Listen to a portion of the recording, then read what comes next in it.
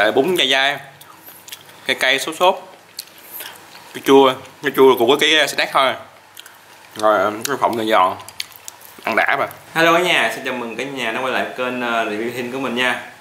Để tiếp tục uh, những chuỗi ngày review những món ăn của anh Trung của Trung Quốc. Thì hôm nay chúng ta sẽ có gì đây? Đây mình muốn giới thiệu đó là món uh, mì dẹt. À, Trung Quốc này là à, mì dẹt khô các bạn. À, ha. À, rất hợp với dễ thương ha. Giờ bánh vậy đó. Ok rồi mời cả nhà cùng với mình review món này nha. Mì dẹt Trung bút nha.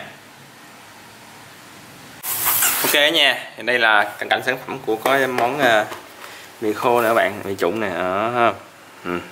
xe mì rất là đẹp ha. Đó làm rất là sang trọng mà không ờ, tiếng hoa đồ này nọ không hiểu gì hết. Rồi tiếng hoa không mà thua nha thôi, mình chỉ việc à, mở đi, mình đi review chi tiết đi. Chứ tiếng hoa thì bó cái tay là bó cái chân. Đây, nè, mình sẽ mở nè. Mở nào. Đây, đó, sợi mì. Giống sợi miếng quá ha. Sợi mì chắc sợi miếng như trời. Đây nó có gì? Wow, có cho bịch sốt nữa các bạn. Nè, cái này à, đậu khô nè. Đây là cái hộp à, đậu phộng cái gì nè. Đó đây, đồ chua nè, đó. Không? Này là cái à, dầu ăn nè, đó. Này là ớt nè, đó. Này chắc giấm nè, giấm hành tương gì nè. Này cái sốt nữa nè, đây là sốt à, cây gì nè, đó. Một, hai, ba, bốn, năm, sáu, bảy bảy bịch luôn bạn. Wow, trời bịch. Thờ khủng khiếp. Ok, bây giờ mình sẽ bắt đầu nấu bạn nha. Ok, bây giờ mình bắt đầu nấu nha. Đây, tô đây. Cắt nào? Rồi sợi mì mà hơi giống như sợi miếng vậy ha? Cũng lạ ha. Đó. Bây giờ mới trụng nước sôi đi cho nó mềm đi rồi mới mình bắt đầu mình mới trộn gia vị vô nha. Đây nước sôi này cả nhà ơi. Đây mình cho vô nha. Đó. Ừ, nước sôi đây nước sôi. Mình sẽ đếm lại nha cho nó lâu mềm. Em hạn tốt nha. Ok cả nhà ơi. Và sau 10 phút trôi qua mình sẽ bắt đầu mình mở ra nha nha. Đó đã mềm rồi nha nha. Đó không mềm nè các bạn bấm vô thấy nó nhẹ nhàng tức là chín nè bấm một phát lụng liền ha là ok nha. Các bạn lưu ý nha. Giờ mình sẽ bỏ nước sôi đi. Ừ. nhớ nha tại cái cái này là bún rồi nha phải mì nha.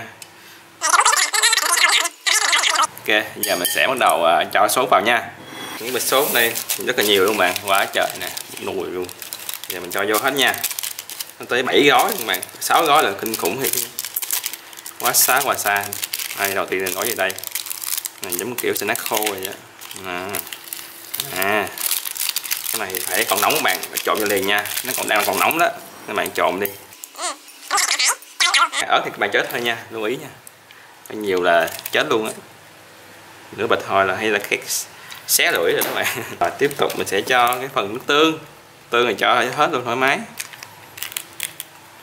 Tương cho hết nha. Đó tương không cay nó tạo vị đậm đà thơm. Bên Trung Quốc thì nó ăn tương không mà đậu phộng. Quá trời mình nói gì chen đậu phộng luôn không khai luôn. Cái dầu mà tạo cho nó cái độ trơn bóng á. Cho vô. Uhm. rồi đồ chua. À, đồ chua tới hai bịch luôn ha. Được ha. Cái snack nó luôn nè mấy cái đồ chua nó luôn nè. Biết phải không? Chua hay là độc hay là tàu hũ hay gì đi. Này còn đang nóng nó trộn lên đi. Uhm, đúng là thơm ghê. Thơm mùi ớt có bộ tiêu túi xiên nữa. Uhm. cũng được ha. Trời hửi mới sọc mũi luôn bạn nặng cả nhà nha. Coi hửi giống cái bóp tiểu châu với bún ốc lý hết không? Nhìn thấy cũng giống là này mình sẽ thử ờ, cái muỗng thử đi. Nhìn khá là thơm thơm mùi tiêu túi xuyên nọ nè mở nhà nha ưng biết ha uhm. ngon mà. Giống giống á. Nhưng mà không không đồ chua bà không không giấm. Giống giống có đồ cay đồ thơm. Đậm đà, mà không đồ chua. Ý thức ý thức với lỗ châu hơn đồ chua nữa. Mày cũng cũng khá là ngon mà là mình là thích ăn chua ăn này ok nha. Được á. Giống đi thức ghê á. Ngon mà này, kiểu như bún xào á. Hay gọi là bún ờ, bún xào khô. Các bạn để lâu á, nó sẽ thấm vô cái bún rất ngon. Chịu không bằng cái đĩa thức, tại đĩa thức này là ăn nước luôn. Này ăn kiểu ăn khô. Hơi khác chút xíu. Tại cái gia vị nó sẽ nhạt hơn là ăn nước này nha. Ăn nước sẽ vị sẽ đậm hơn. Mà ngon. Nó thử rồi nha. Cua đó. Sợi bún dai dai. Cây cây sốt sốt cái chua cái chua cùng với cái snack thôi. Rồi um, cái phộng này giòn ăn đã mà dễ ăn. Điều nấu bún hơi lâu xíu nha. Phải nấu bún mềm, ăn mới ngon rồi nha. Lưu ý nha. Đó. Ok nha đây mình sẽ điều chuyện cái nhà, cái món uh, bún này nha. Thì cái bún này trộn luôn, bạn phải để cho nó ngấm nó hơi lâu xíu bạn khoảng 5 phút sau bạn ăn sẽ thơm hơn. Tại vì nó phải là bún nước.